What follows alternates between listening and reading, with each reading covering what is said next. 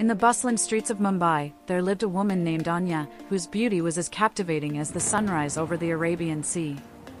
With eyes like deep pools of mahogany and a smile that could melt the hardest of hearts, she effortlessly turned heads wherever she went. Her grace was like a gentle breeze, and her laughter echoed like music in the air. Born into a family of artists, Anya possessed a talent for dance that seemed to flow through her veins. With every movement, she told stories of love, loss, and resilience, enchanting audiences with her fluid motions and mesmerizing expressions.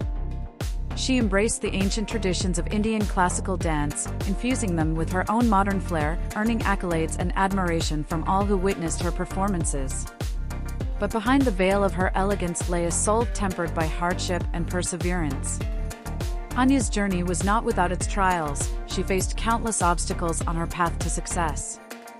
Yet, with unwavering determination and a fierce spirit, she overcame each challenge, emerging stronger and more resilient than before.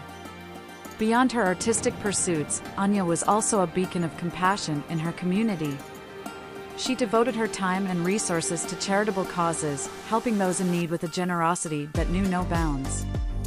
Her kindness touched the lives of many, leaving a lasting legacy of hope and goodwill in her wake. As the sun set over the city skyline, casting a golden glow upon the horizon, Anya stood tall, a symbol of beauty, strength, and grace. In her presence, the world seemed to shimmer with possibility, and those who knew her felt blessed to bask in her radiance.